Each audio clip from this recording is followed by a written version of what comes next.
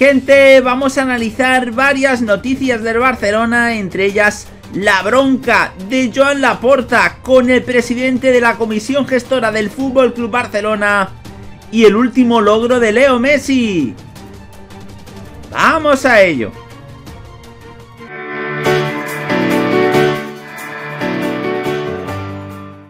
Hola de nuevo chicos, ¿cómo estáis? Bienvenidos de nuevo a otro vídeo para el canal. Vamos a analizar la última hora del Fútbol Club Barcelona.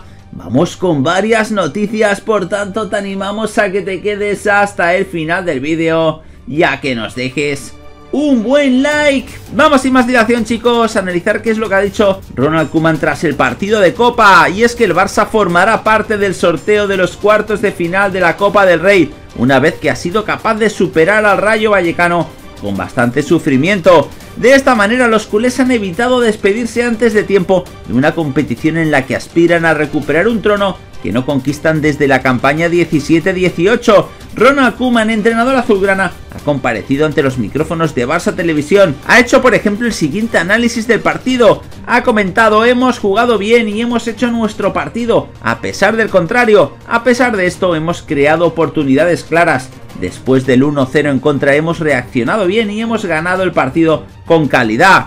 Pudimos marcar más, pero pasamos la eliminatoria y es lo importante. Estoy contento por la mentalidad del equipo. Parecía que venían tiempos difíciles y hemos demostrado mentalidad.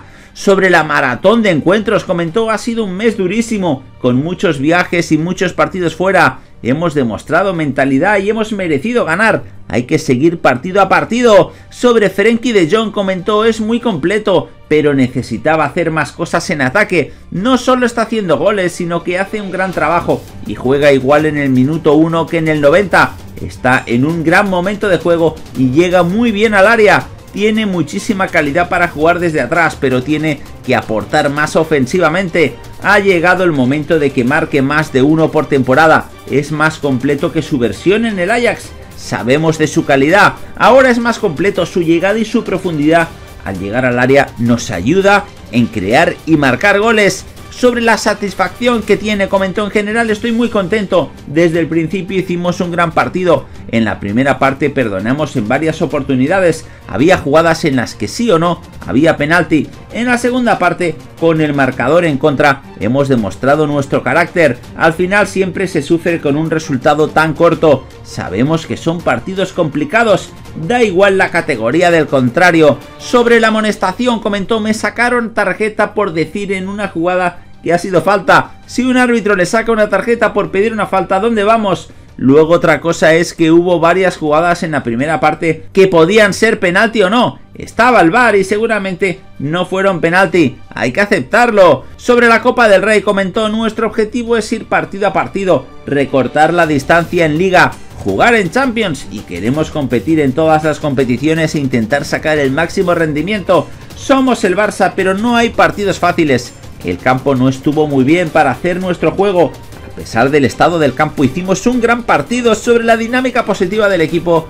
Comentó, si ganas no estás cansado, la trayectoria es buena y ahora tenemos un día más porque nuestro partido es el domingo por la noche. Por tanto chicos, satisfacción de Ronald Koeman por el pase a cuartos de final.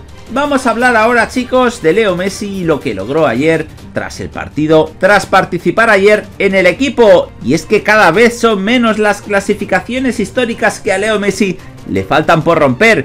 Y este miércoles en Vallecas el crack argentino ha superado a una leyenda como Josep Samitier, quien hasta el día de hoy lideraba la lista de jugadores del Barcelona con más partidos disputados en la historia de la Copa del Rey, Messi ya suma 76, uno más que la referencia azulgrana de un siglo atrás. Pero como si dicho récord no fuera bastante impresionante, en estos 76 partidos en la Copa del Rey, Messi ha marcado 53 goles, una cifra en la que Samitier sigue por encima del argentino con 64.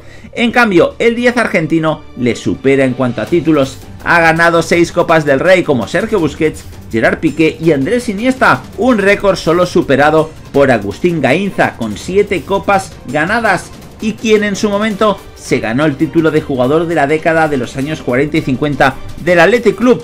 En dicho ranking, por detrás de Messi con 76 y Samitier con 75, Figuran otros jugadores icónicos del club azulgrana como Andrés Iniesta con 73, Vicente Piera con 71, Xavi Hernández con 70, Josep Segarra 69.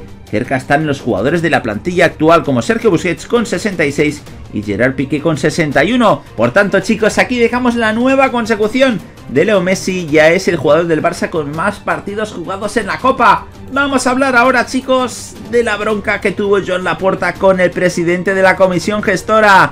Y es que Laporta, candidato a la presidencia del Barça, y Carles Tusquets, presidente de la comisión gestora, que dirige el club desde la salida de José María Bartomeu y su junta, mantuvieron una tensa discusión mediante cartas tal y como explica Mundo Deportivo. El instigador de esta bronca, en este caso, fue Laporta que envió un escrito a Tusquets criticando el trabajo de la gestora y reclamando que se abstenga de hacer ciertas funciones. El expresidente del Barça criticó el hecho de que la comisión gestora retrasara las elecciones, aunque fue el posible fichaje de Eric García lo que más parece haberle molestado. Sin hablar directamente de él, el candidato dejó claro que no le ha gustado que se intente fichar a Central. Pido que se abstenga de efectuar actos de disposición económica que comporten un incremento de la deuda y gastos del club y más concretamente del gasto en nóminas deportivas realizando cualquier operación sobre jugadores que obligan al club en el presente o en el futuro cercano, así como el perfeccionamiento o renovación de contratos de cualquier tipo, dado que todas estas actuaciones corresponden a la junta directiva que resulte ganadora del proceso electoral, así comentó la puerta.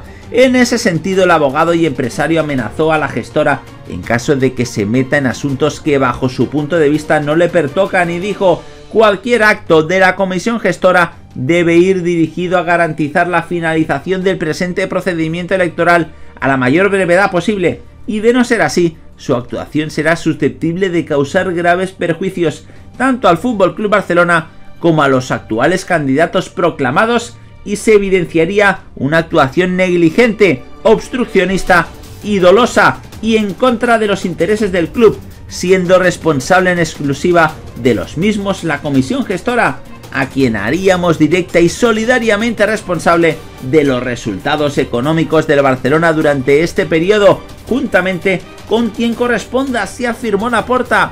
La respuesta de Tusquets ante estas contundentes palabras no se hizo esperar y el presidente de la Junta dejó muy claro que no le gustó el tono de amenaza que desprendió la carta de la puerta y dijo no era preciso ni necesario hacernos ningún requerimiento y mucho menos plantear ninguna amenaza por la sencilla razón que la gestora que presido tiene muy claras sus obligaciones, funciones y atribuciones.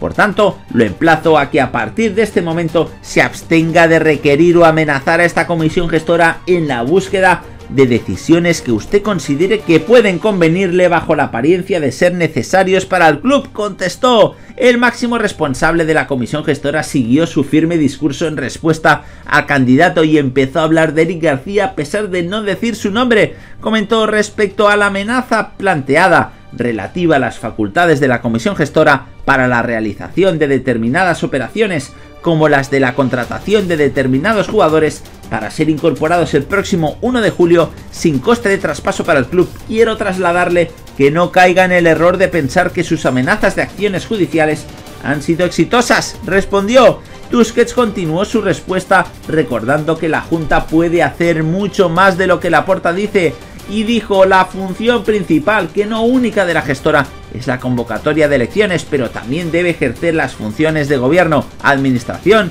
y representación que competen a la junta directiva, efectivamente limitadas a los actos necesarios e imprescindibles para el mantenimiento de las actividades normales del club y la protección de sus intereses. Por tanto, chicos, este ha sido el cruce de cartas esta bronca entre Tusquets y Joan Laporta. Nos gustaría saber vuestra opinión al respecto de cualquiera de estas noticias y que por favor nos la dejéis en los comentarios justo debajo de este vídeo.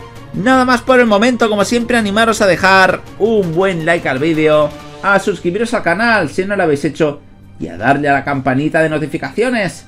¡Hasta la próxima!